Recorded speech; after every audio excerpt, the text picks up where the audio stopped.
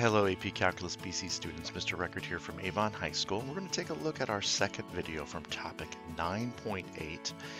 We're dealing with pretty tricky areas of polar curves and I think this one's going to be maybe the most challenging one that we've seen thus far.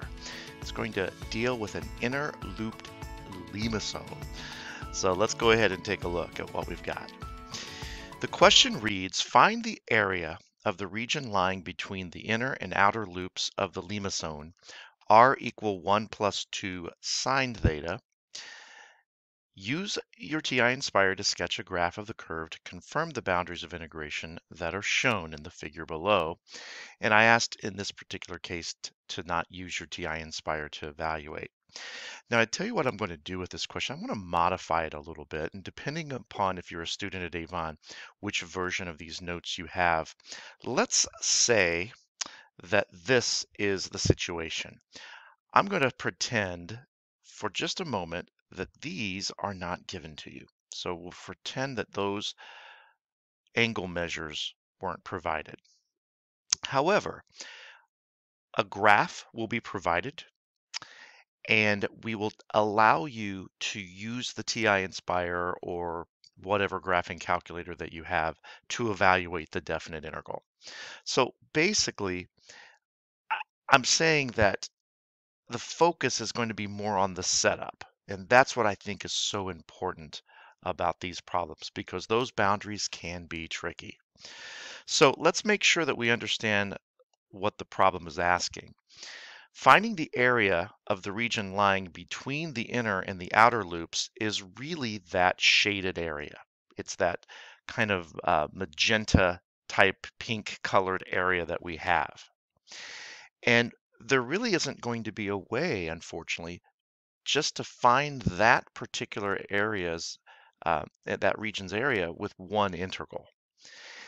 We can't help but including that inner loop as we try to find the area of this entire outward thing. So what we're going to have to do, the philosophy that we're going to have to adopt here is if we want to find the area of that shaded region, I'll just call it A sub shaded, we have no choice but take the area of the outer region, or maybe I should say the area of the overall how about that? Overall means both the inside plus the outside. And then we subtract the area of that inner loop. Now it'll hopefully become a little bit more clear to you why this is going to work as we start developing these definite integrals. So what I want to do first is find the area of the inner loop.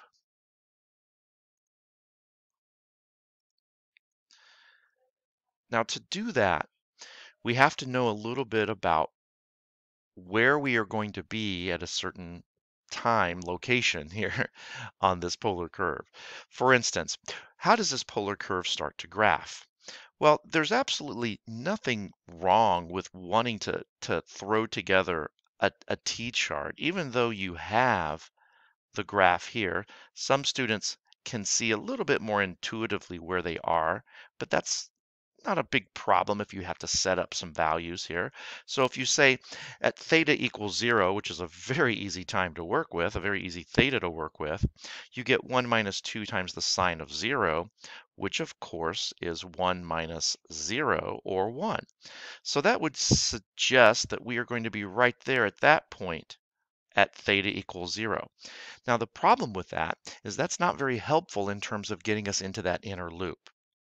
So you have to think a little bit more uh, in depth about, well, what is it going to take for me to get right here?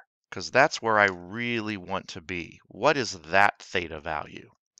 So one of the easiest ways to do that is just to understand if you are sitting right there on the pole, and that's where we are, right? The origin of the polar coordinate plane, then your radius is a value of zero.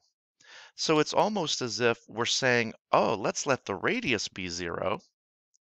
And let's figure out what the theta measure is. It's sort of, sort of backwards.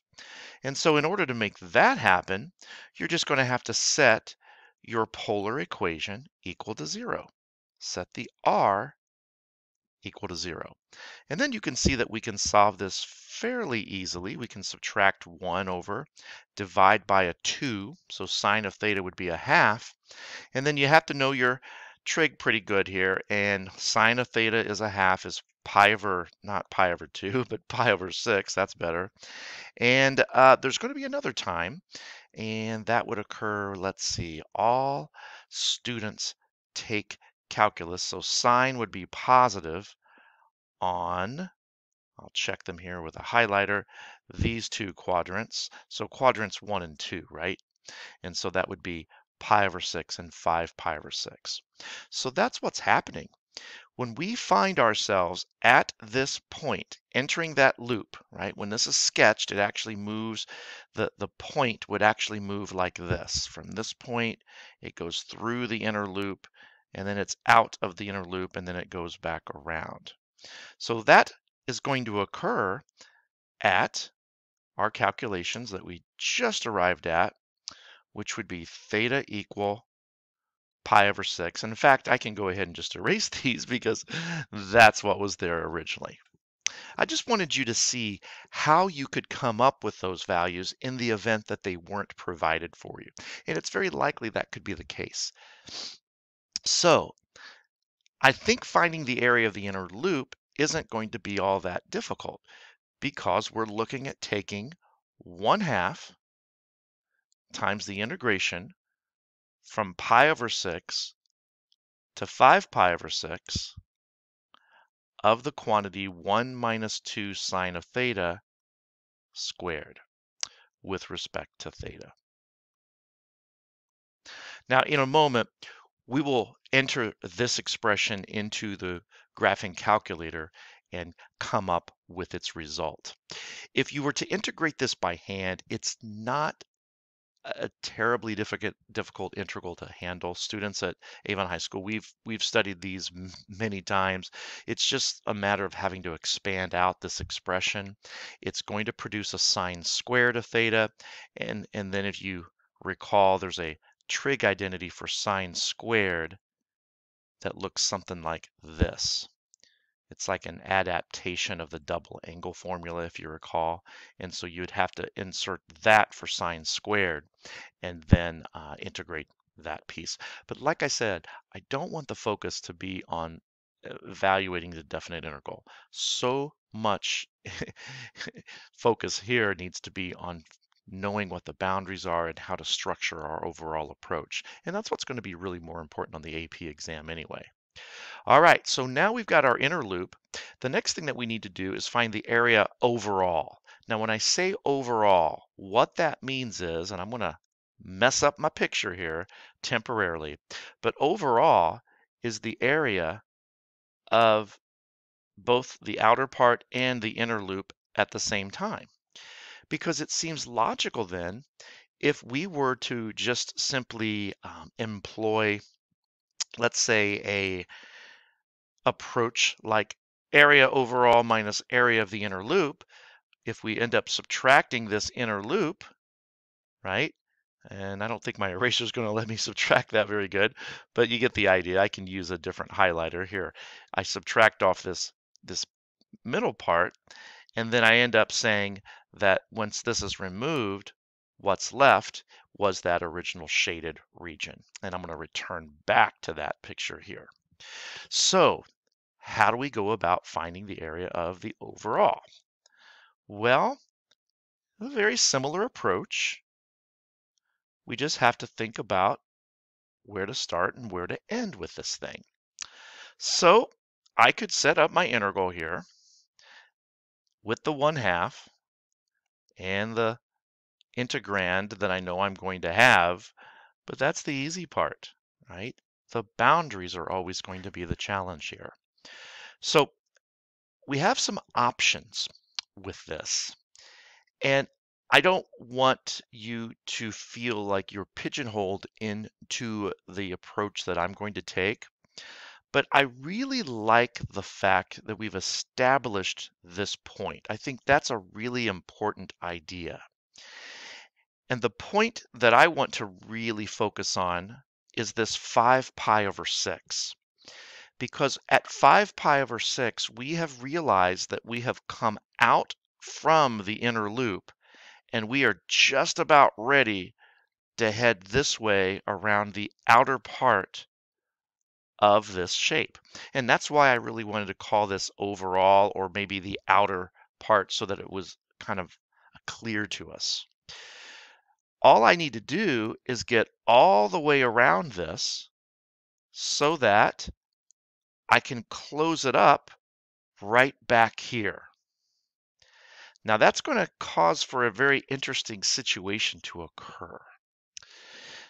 Let's go ahead and say that 5 pi over 6 is going to be that lower boundary because that's what I want to use. That's going to be correct. But in order for us to get all the way around back to where we started at that 5 pi over 6, we actually have to go past this little moment where we started to graph in the first place. Remember from our table when theta was 0? Well, by the time we've gone all the way around to that point, not only is theta 0, but it's 2 pi as well. In fact, if you plug 2 pi in for theta, 1 minus 2 sine of 2 pi, you're going to get 1 as well. But notice that we have to go just a little bit further to get back to the top of where that inner loop begins. And so if that pi over 6 was going to be used originally to get into the inner loop, by the time we've gone a complete revolution around, we're going to be adding 2 pi to that pi over 6, and that is going to be 13 pi over 6, which is what we have for an upper bound. By the time we compute this purple eh, definite integral and subtract this blue one, we should get our actual answer. And we're going to take a look at that on the graphing calculator. Let's do that. Okay, here we are at our graphing calculator. Again, I'm using the TI Nspire. You can use any model of graphing calculator to evaluate these definite integrals. And I tell you what, to get a better view here, I'm going to change this to a computer view so that we can see things just a little bit nicer and I'll move my camera out of the way. And so just to double check, I seem to have entered both the area for the outer loop and the areas for the inner loop um, correctly.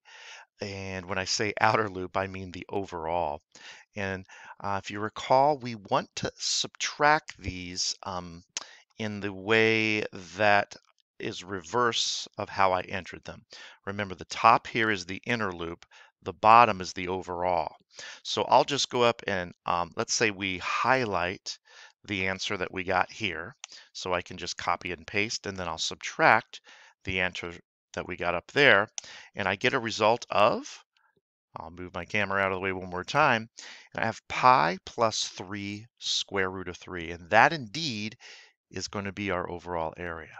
Now let's go ahead and take a look back at the original problem and discuss some alternative approaches that you could have taken to solving it.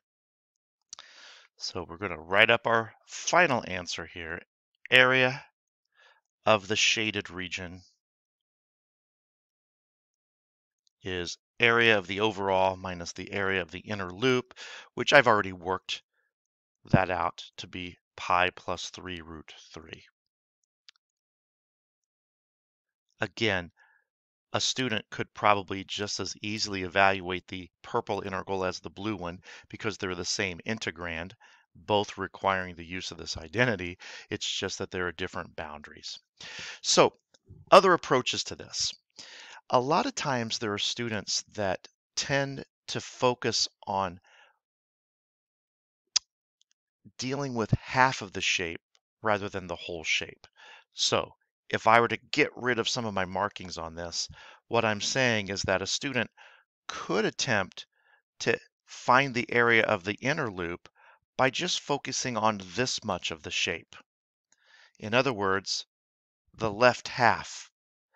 Well, if that were the approach, and it certainly works, we would have to understand that pi over 2 would have been the upper boundary that you would have used in this case that I'm circling.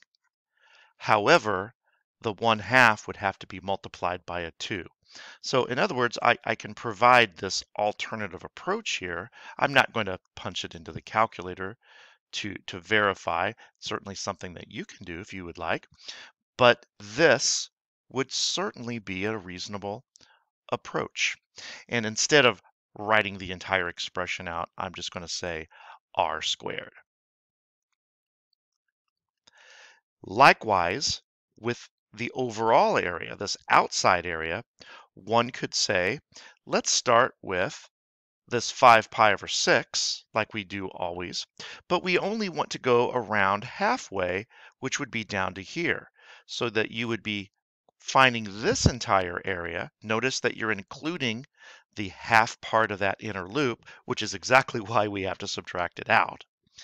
But we have to know that this bottom portion is 3 pi over 2. Now, if you're wondering how would you come up with the pi over 2 and 3 pi over 2, that would just require a little bit more investigation into your table, but I know that you could come up with that with a little bit of thought.